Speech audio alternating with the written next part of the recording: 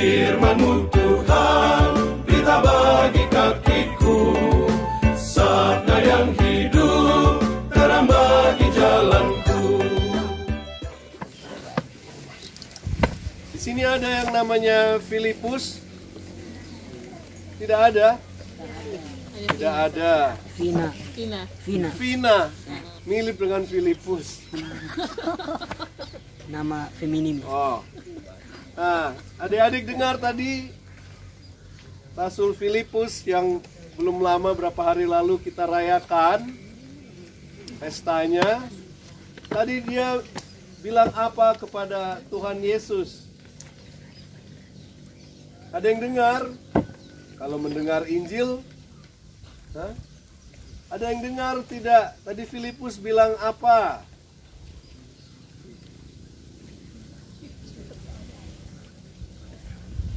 Hmm? Tidak ada yang dengar? Ah, kakak-kakak ada yang dengar? Tadi Filipus bilang apa? Saya sudah padahal sudah sakit tenggorokan, harus ngomong kencang-kencang, ternyata tidak ada satupun yang dengar.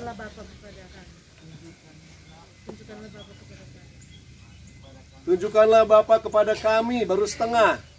Setengahnya lagi, itu sudah cukup. Itu sudah cukup bagi kami. Ah, kalau ada sabda itu kita harus dengarkan. Baru dengarkan itu baru satu. Lalu direnungkan. Lalu Laksanakan. dilaksanakan. Pendengar, perenung dan Pelaksana. pelaksana sabda. Tadi sudah dengar belum? Sudah. Sudah. Satu dua saja yang dengar. Apa kurang kencang kah suaranya saya? Cukup kencang. Ah, berarti kali ini dengar baik-baik karena tadi sudah satu. Hmm? Sudah satu nol.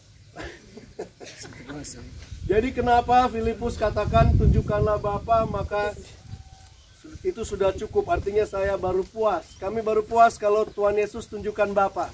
Tunjukkan Bapa sekarang, kami tidak pernah lihat. Hah? Ya. Tadi siapa yang tersentuh bahwa merasakan Allah Bapa mencintai kamu? Siapa yang merasakan? Ada yang merasakan?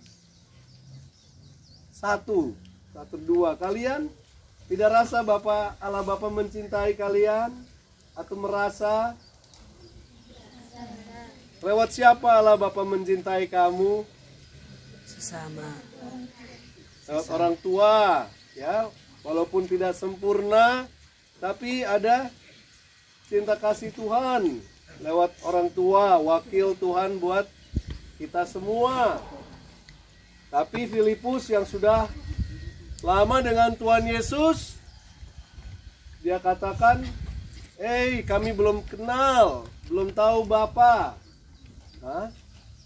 Lalu Tuhan Yesus katakan apa kepada Filipus? Tes yang kedua. Apa yang dikatakan Tuhan Yesus kepada Filipus? Ah, coba kakak-kakak diam dulu. Apa yang tadi Tuhan Yesus katakan kepada Filipus?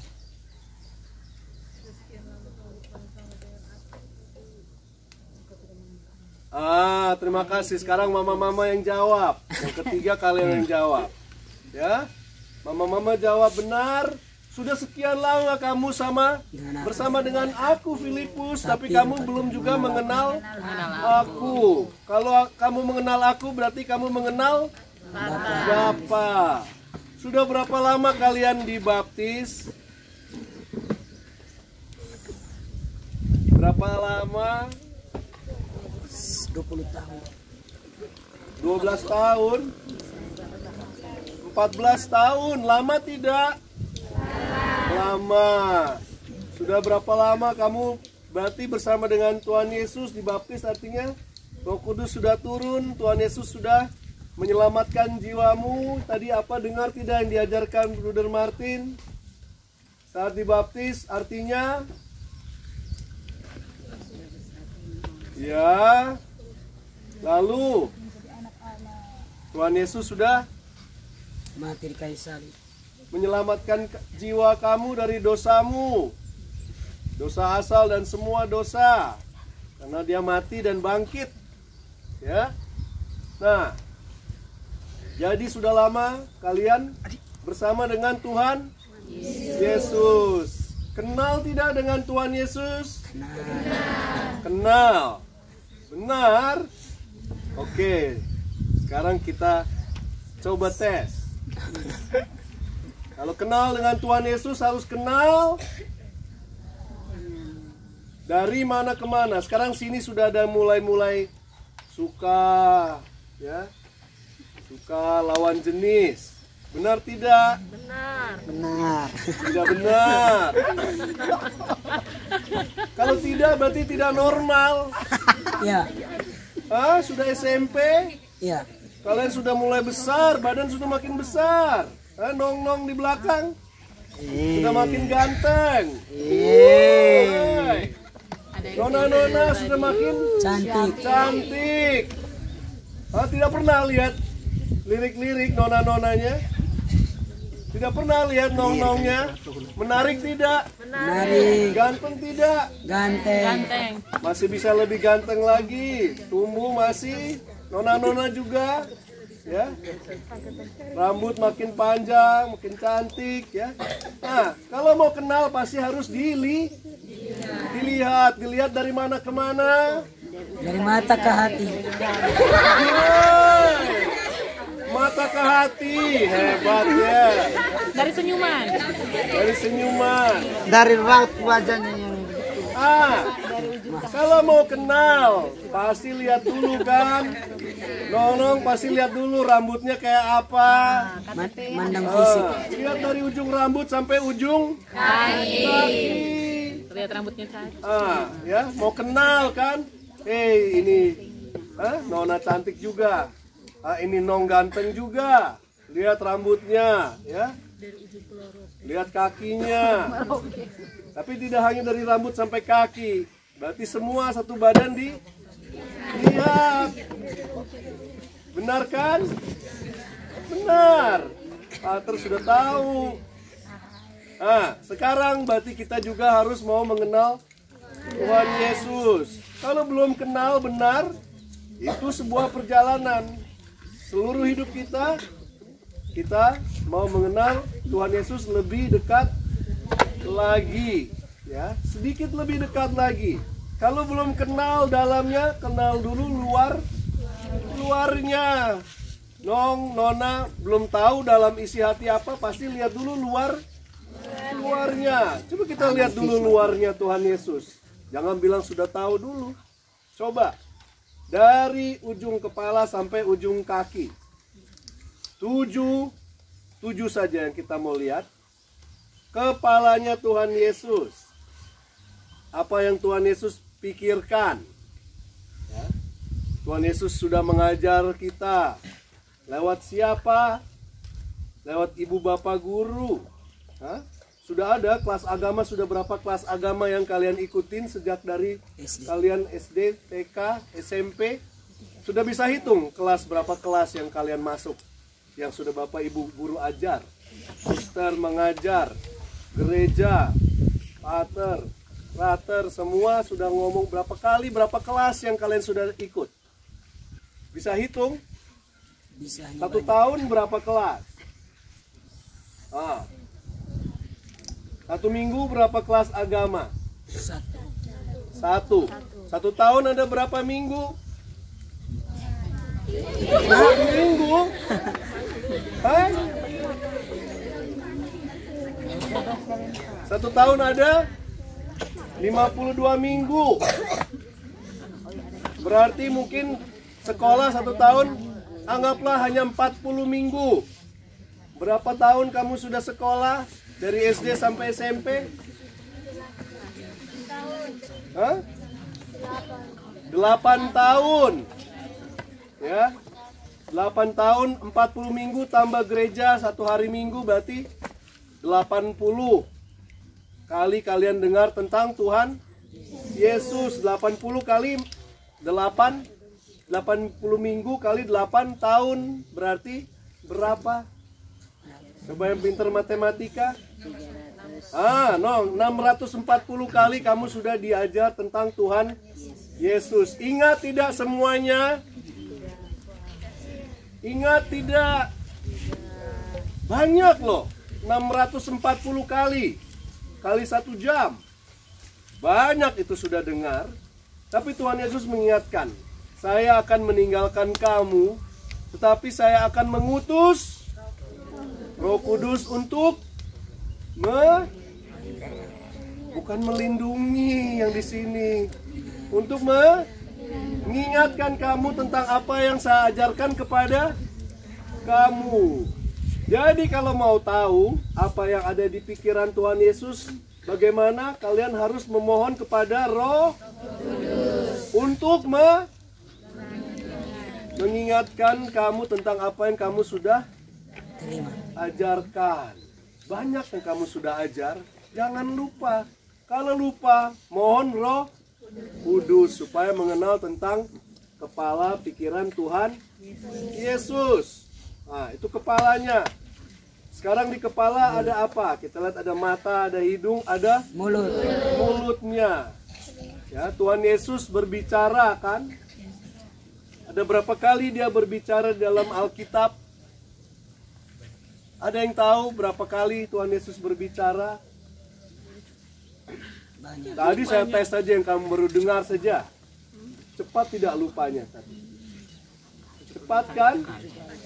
Ah, artinya kalau mau tahu apa yang Tuhan Yesus katakan, kalian harus apa? Buka Alkitab, baca. Oi, Tuhan Yesus katakan tadi, Filipus, sudah sekian lama engkau bersama dengan aku. Kalau kalian tidak sering baca, kalian tidak akan tahu kata-katanya Tuhan Yesus. Kalau tidak tahu apa yang dia katakan, bisa tidak kita dekat dengan dia? Tidak bisa. Jangan Alkitabnya hanya tersimpan di dalam lemari sudah berdebu. Alkitabnya dibuka, dibaca Tuhan Yesus katakan, "Aku mengasihimu. Ya, aku tidak akan meninggalkan kamu. Jangan takut." Ya, aku sudah mengalahkan musuhmu semua, ya. Alkitab sudah ada, kita mau mengingatkan akan perkataan Tuhan Yesus dari mulutnya. Sudah dua, kepala, mulut, ya. Tadi kepala sekarang turun ke Tubuh. tubuh, ya badan. Kalau Tuhan Yesus adalah kepalanya, siapa tubuhnya? Gereja. Umat. Umat atau ge Gereja. gereja. Ya siapa gereja itu? Kita. Kita semua. Artinya kalau mau mengenal Tuhan Yesus harus juga mengenal gereja yang adalah sebuah komunitas. Ada berapa komunitas yang kamu hidup? Komunitas apa saja? Gereja yang paling kecil itu apa? Keluarga. Lalu ada komunitas KTG, lingkungan KBG, sorry KTG, KBG, lingkungan Stasi. stasi, Paroki. paroki, Uskupan. Uskupan. Hah? Regio. Banyak sekali kamu hah? komunitas, kamu tidak bisa hidup sen- sendiri. Harus hidup di dalam komunitas. Artinya mau aktif dalam komunitas sehingga kalau kamu aktif, kamu akan lebih mengenal tentang Tuhan Yesus. Aktif dalam keluarga. Kalau mau doa rosario jangan malas-malas. Ada acara KBG, mau doa, mau acara pergi, acara sekolah retret, satu komunitas, belum komunitas sekolah. Hah? Kita harus terlibat supaya mengenal dengan Tuhan Yesus. Jangan jadi kayak Filipus. Nah, ya. Sudah kenal tubuhnya. Dari tubuhnya kita lihat apa yang paling penting dalam tubuh seseorang. Hati. Hati. Kalau sekarang pakai begini-begini nih, apa nih? Sarangnya. Sarang beo apa sarang beo? Uang begini. Ya, hatinya. Eong. Hati Tuhan Yesus seperti apa? Love.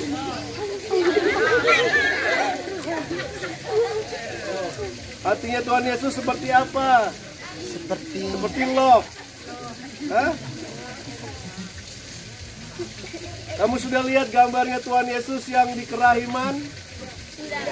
Ah, hatinya memancar apa? sinar.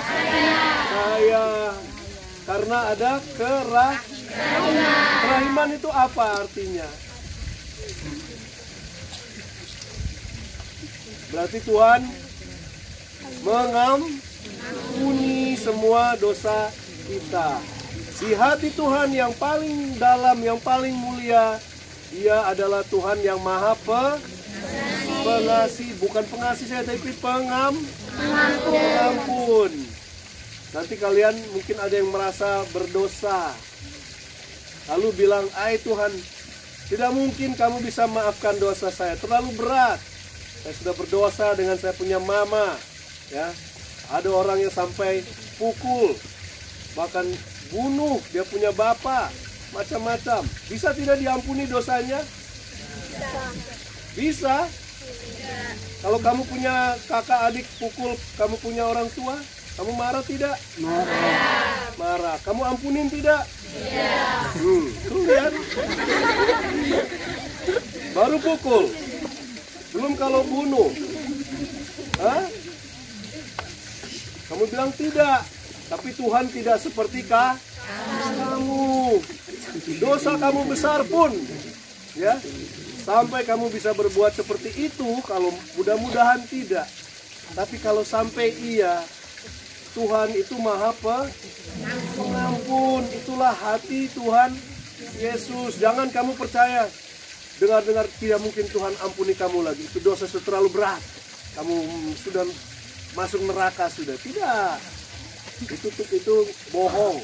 Ya Tuhan itu maha pengampun. Itu hatinya Tuhan. Sekarang dari dekat hati ada lambungnya Lambung. dia. Lambungnya ada apa? Luka tidak? Luka, ya kan keluar darah dan air saat di Tikam. tikam. Ya. Luka Tuhan Yesus ada di mana saja? Lambung, tangan, Badan. kaki, di badan. Nah, saat Tuhan Yesus bangkit, lukanya masih ada atau tidak? Masih. Belum kenal kan? Belum. Masih ada. Saat kamu dibaptis, berarti kamu mati dan kamu bangkit dengan seperti Tuhan Yesus. Kamu masuk air artinya mati. Orang di dalam air bisa hidup tidak? Mati. Lalu bangkit lagi naik keluar dari air. Bangkit bersama Tuhan Yesus, kamu adalah juga sudah bangkit. Tetapi kamu masih juga ada lu seperti Tuhan Yesus yang bangkit pun masih ada lu. Tadi ada yang rasa-rasa luka batin. Tadi nangis-nangis. Ada, ya. Ada yang luka-luka batin namanya itu nangis-nangis. Ya, tapi Tuhan Yesus juga terluka. Artinya dari luka Tuhan Yesus, dari darahnya, ya, yang mengalir untuk menyembuhkan luka-luka kita semua termasuk Bapak Pater ada tidak luka batinnya? Ada. Ada. Banyak. Apalagi kalau umat-umatnya tidak ingat. Ya, sudah ngomong kencang-kencang. Tidak ada yang tangkap. Luka batin tidak? Luka. Luka. ya. Ya. Ah, jadi Tuhan Yesus yang terluka juga menyembuhkan kita dengan darahnya yang kudus, darah yang suci. Berarti tadi sudah satu kepala, dua, Mulut. tiga, Hati. tubuhnya Tubuh. dulu, Tubuh. empat, Hati. lima, Lambung. lambung atau luka-lukanya. Luka-lukanya ada di tangan. Nah, tangan itu melambangkan apa? Melambangkan pekerjaan atau karyanya. Kalau mau mengenal Tuhan Yesus harus mengenal Karyanya. karya-karya Tuhan Yesus. Tuhan Yesus pakai tangannya untuk ber karya. Ya. Pernah lihat Tuhan Yesus pukul orang? Iya. Kalian pernah pukul orang? Tuh. Ya. Pernah, tapi Tuhan Yesus tidak pernah pukul orang. Dia anti Dia pakai tangan untuk member. Nah, tadi saya berkatin satu-satu. Ada yang tidak yang saya, tidak saya sampai berkati satu-satu? Semua dapat berkat? Tidak. Kamu tidak rasa saya berkatin kamu satu-satu? Ah, sudah lupa. Mama batin lah. Lagi. Lagi. Mama bersiara. Ya, Tuhan Yesus memberkati, bukan memukul. Kalian pernah dipukul? Nah, luka batin atau tidak? Luka. Luka. Tapi Tuhan Yesus tidak pukul kalian, dia memberkati kalian, ya. Dikatakan tadi kepada Filipus, ya, kalau kamu mengenal aku, maka kamu juga akan melakukan pekerjaan-pekerjaan aku, bahkan yang lebih besar lagi. Kalau Tuhan Yesus menyembuhkan, dia bilang, doakan orang sembuh, dia sembuh, ya. Bapak Pater juga pernah mendoakan orang kakinya lumpuh sembuh. Karena apa? Tuhan Yesus bilang, kalau kamu mengenal aku, ya kamu akan melakukan juga pekerjaan-pekerjaan yang aku lakukan. Para rasul, mereka tadinya belum mengenal Yesus, tapi lama-lama mengenal. Akhirnya Petrus mendoakan, bukan saya sembuh, orang sudah mati, bangkit lagi. Hah? Itu bukan hanya untuk mereka saja, tapi untuk kita semua.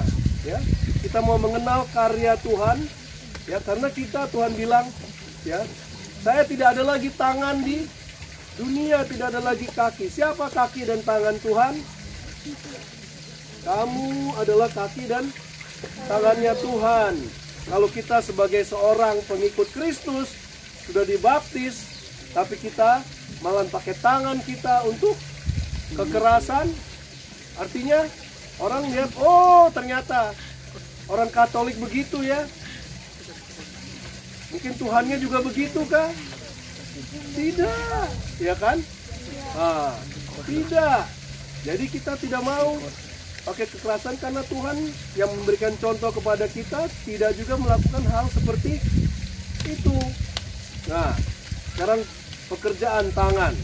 Lalu terakhir adalah kakinya. Kaki untuk buat apa? Kaki nong buat apa? Main bola. Hah? Siapa yang suka main bola? Semua. Siapa pemain bolamu yang paling kamu idolakan? Pedro.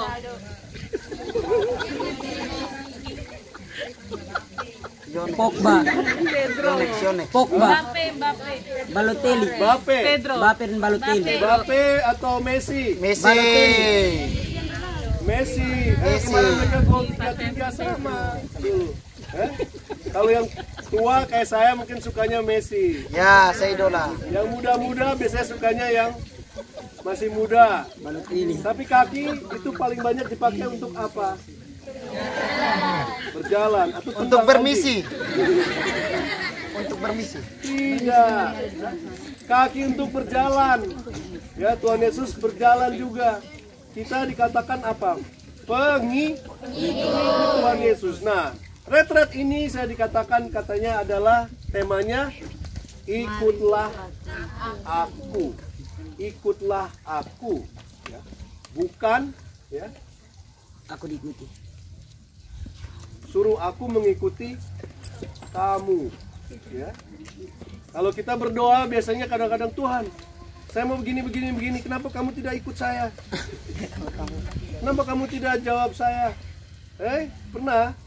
Rasa doanya tidak terjawab. Pernah minta Tuhan? Pernah ya. Tapi waktu Petrus Tuhan Yesus bilang saya akan berjalan pergi ke Golgota salib Yerusalem. Lalu Petrus katakan tidak bisa Tuhan jalan ke sana, tidak boleh ke sana itu penderitaan itu tidak boleh. Hah? Lalu apa katanya Tuhan Yesus? Apa katanya? Nyala engkau, iblis. Kalau bahasa tetangga, ya bahasa tetangga orang bule, orang Australia bilangnya, ya itu lebih pas. Mereka bilangnya get behind me, setan. Artinya mundur ke be- belakang. Ya, kamu pengikut saya. Kalau mengikuti dari depan atau dari belakang? Dari belakang, bukan dari depan, bukan kasih tahu Tuhan Tuhan. Ini saya maunya tujuan ke sini kamu ikut sa saya bukan. Tuhan yang maju ke depan baru Tuhan kamu tanya Tuhan ke mana saya harus pergi? Ke mana kamu pergi? Saya mau pergi ke situ. Hah? bukan Tuhan saya mau pergi ke sana. Kamu ikut saya. Hmm, Kadang-kadang kita tidak sadar dalam doa kita adalah begitu sehingga kalau Tuhan tidak ikut kita, kita marah sen sendiri lalu meninggalkan tuh salah siapa? Salah sendiri, salahnya Pater? Tidak, karena Pater sudah kasih tahu. Ah, ya. Jadi kita mau menjadi pengikut Tuhan Yesus, mengikuti Tuhan dari be. Ke mana biasanya Tuhan Yesus pergi? Ke Jakarta? Hah? Ke Surabaya? Eh mungkin juga, Terserah Tuhan. tapi terserah Tuhan ya mungkin dia pergi ke Jakarta, ke Surabaya, ke Malaysia. Hah? Sini adakah orang tuanya yang pergi? Tidak ada? Ada, ada yang keluar keluar Flores ada kan? Ada. Mungkin juga nanti kalian sudah dewasa pergi, mungkin bercita-cita mau ke Jawa, Hah? mau keluar negeri bekerja, cari uang yang banyak, benar tidak? Benar, itu biasa kita. Lalu kita paksa Tuhan, Tuhan ikut saya. Hah? Benar tidak? Benar. Tapi mungkin Tuhan juga lewat ke situ, tapi tidak berhenti di situ. Dia juga pergi, ada ke gunung, namanya gunung apa? Tabor, di mana dia dimuliakan, bercahaya.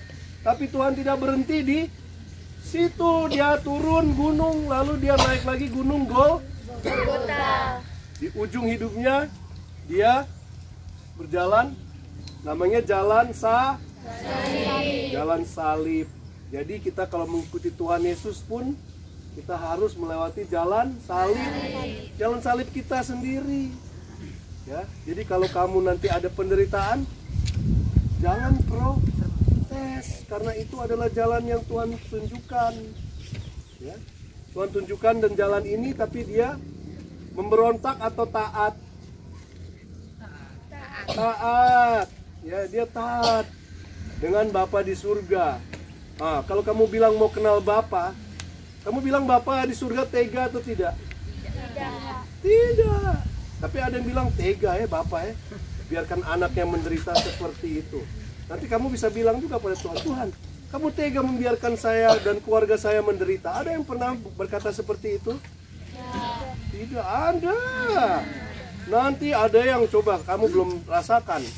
Kalau orang tua tiba-tiba dipanggil meninggal, kamu punya kakek nenek siapa yang kamu sayang meninggal, hmm, kamu bisa-bisa ngomong kepada Tuhan, kamu tega Tuhan. Ambil orang yang saya paling cintai dari diri saya. Kamu biarkan saya menderita. Kamu ngomong begitu, protes kepada Tuhan. Berarti itu namanya tidak mau ikut Tuhan. Yesus jalan sa jalan salib. Kita pasti ada penderitaan.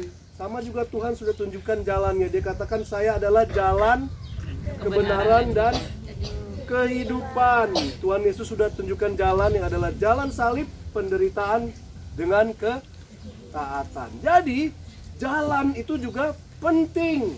Bukan hanya tujuannya saja. Siapa di sini yang mau sukses? Semua. Siapa yang mau berprestasi di kelas? Semua. Siapa yang mau lulus? Semua. Itu tujuan yang mulia. Siapa di sini yang tidak pernah nyontek? Semuanya tidak pernah nyontek? Aduh ngaku tuh senang tuh bapak mama. Hah? Itu jalannya benar atau tidak? Tidak dikatakan jalan menuju neraka ya dipenuhi oleh tujuan-tujuan yang mulia. Tujuannya mulia tapi caranya salah. Kita tidak bisa menghalalkan segala cara. Kamu mau membahagiakan orang tua, jadi kaya, bawa pulang uang yang banyak ke rumah, pergi nanti wah ya, cita-cita mulia. Tetapi kamu menipu, mencuri. Jalannya benar atau tidak? Tidak. Artinya itu kamu berjalan ke mana? Kamu berjalan mengikuti Yesus atau berjalan ke neraka? Berjalan ke neraka dengan tujuan yang mulia. Tujuannya mulia, membahagiakan keluarga, membahagiakan, mencukupi keluarga. Hah? Tapi jalannya salah. Kalau dari awal sudah berlatih mencuri-curi dengan menyontek, ya, mengambil, mencuri uang orang tua, nanti makin lama makin terbiasa dengan jalan ke neraka, bukan jalan mengikuti Tuhan Yesus. Ya. Nah, jadi kita sudah cukup merenungi bagaimana kita mengenal Tuhan Yesus dari kepala, Mulut mulutnya, tubuhnya, hati hatinya, luka. lukanya, tangannya, kaki. Kepala artinya apa? Mengingatkan kita, Kepala saja lihat begitu. mengingatkan Kepala kita akan kejadian. Dengan cara Ti. Dengan cara apa tadi supaya ingatnya minta kepada siapa? Kudus. Mulut. Ya, berbicara tapi bagaimana caranya supaya kenal kata-kata Tuhan Yesus? Ah, baca Alkitab. Terima kasih. Mulut berarti baca Alkitab. Hatinya Tuhan Yesus. Apa? Mengampuni supaya diampuni. Hah? Meng- Mengampuni supaya diampuni. Luka-luka Tuhan. Apa artinya? Meminta Tuhan menyembuhkan kita dengan darah dan lukanya dia. Tangannya berkarya dengan kekerasan tidak dengan memberkati. Kakinya berjalan ke depan. Belakang Yesus. ke neraka. Berjalan dengan di depan Tuhan Yesus atau di belakang Tuhan Yesus? Di belakang Tuhan Yesus. Ke mana pun dia pergi, artinya jalan sah salib ya dengan taat. Ya. Kalau mudah-mudahan adik-adik semua ingat ya tujuh hal itu untuk mengenal Tuhan Yesus dari kepala sampai kaki. Nanti kalau ibu guru tanya, ingat tidak? Ibu guru, bapak guru tes ya. Ingat tuh. Papa Pater sudah bikin begitu mudahnya supaya kamu ingat dengan Tuhan Yesus. Kenal dia lebih dekat lagi. Ya. Ada satu lagu itu kata bisa nyanyi. Ya, judulnya Mengenalmu lebih dekat lagi. Ya. Mengenalmu lebih dekat lagi. Kau pribadi yang ku rindu Pesonamu memikat hatiku Ku mau sepertimu Yesus. Kakak-kakak bisa bantu mengenalmu. Lebih dekat lagi. Kau pribadi yang ku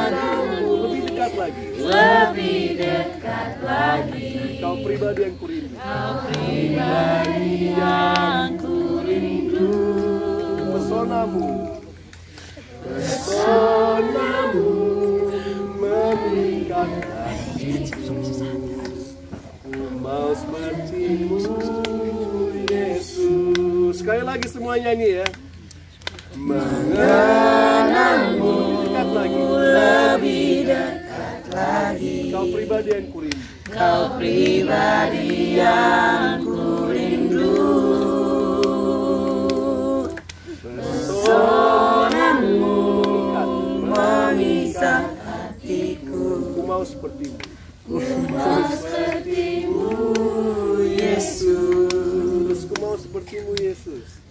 Ku mau sepertimu, Yesus. Ku mau sepertimu Yesus. Ku mau sepertimu, Yesus. Ya Tuhan Yesus, kami mau mengenalmu lebih dekat lagi. Kami mau mengenal apa yang kau pikirkan, apa yang kau katakan, apa yang ada dalam hatimu. Mengapa engkau terluka untuk menyembuhkan kami? Siapa tubuhmu Tuhan? Dan apa karyamu dan ke mana engkau pergi?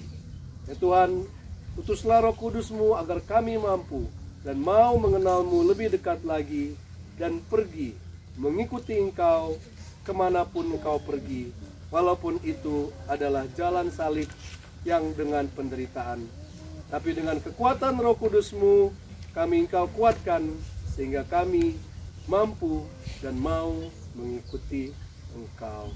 Amin. Amin. Nama Bapa dan Putra dan Roh Kudus